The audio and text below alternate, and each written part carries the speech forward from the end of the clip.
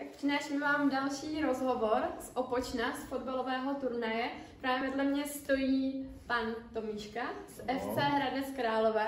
A já bych vás trochu vyspovídala taky, jestli dovolíte. Určitě, tak povídejte, ptejte se. Jak jste spokojení s výkony hráčů na dnešním turnaji? Tak střídavě. Jednou se jim daří, jednou nedaří. Terén je takový, jaký je, takže to mají těžký, ale snaží se, takže spokojení. A který ze zápasů uh, byl pro vás takový nejatraktiv, nejatraktivnější, který se vám nejvíc líbil? Teď jsme hráli se Spartou, tak pro fanoušky a diváky to bylo určitě atraktivní, Mhm. ale myslím si, že všechny fotbaly jsou pěkný. Paradoxně v tom prvním jsme podávali nejlepší výkon, což jsem nečekal. Mhm. A dokážete říct, který z hráčů hrál vlastně třeba jako nejlíp, podával nejlepší výkony? Uh, zatím ne, zatím ne, protože opravdu, jak je i to počasí takovýhle, tak je to střídačka. Jednou se jim fakt daří a jednou jim to prostě nejde v jednom zápase. No. Mhm. Takže zatím nemůžu nikoho vyzdvihnout.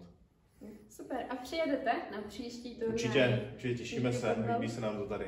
No tak Takže to rádi slyšíme. tak jo, děkujeme. Není zač.